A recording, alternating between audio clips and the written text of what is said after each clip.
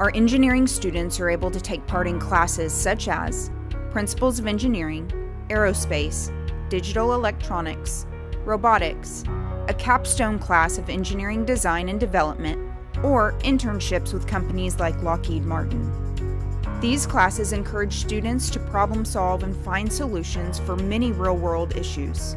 While in these classes, students have access to 3D printers, a plasma cutter, laser cutters, and other types of software and devices to allow students to program electronics and fully functional robots. So, if you enjoy math and science, as well as love working on projects and solving problems, the STEM pathway may just be for you. The architecture and construction students have access to many of the same tools that our engineering students do.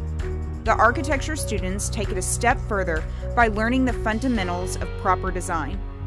In addition, the architecture program provides a VR system to allow our upper level classes a virtual walkthrough of their custom residential and commercial floor plans. The construction students work in a shop that is outfitted with the tools of the trade, so they are able to build just about anything. These students are fully engaged in learning the trade and skills necessary to enter the workforce. Included in our School of Engineering is our IT, or Informational Technology pathway. These classes include computer maintenance, programming, and networking. Our maintenance and networking courses give students the advantage to work with routers and switches as well as setting up a network in a mock MDR facility. In our programming courses, students can expect to work on computer games or mobile application development. Students have access to industry standard equipment such as virtual reality and augmented reality. Our cybersecurity program exposes students to the field of cybersecurity using a virtual system to monitor, mitigate, prevent online threats, and solve real world problems students will explore the many educational and career paths available to cybersecurity experts. Lastly, we have interior design.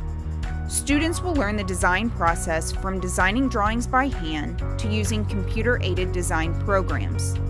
We incorporate those plans into complete design plans, including layouts and materials that make spaces functional and aesthetically pleasing. Real world, hands on projects are always presenting themselves in interior design, so every year looks a little different with new opportunities. The School of Engineering offers a variety of opportunities for those students who aren't afraid of a challenge, enjoy getting creative, and coming up with practical solutions.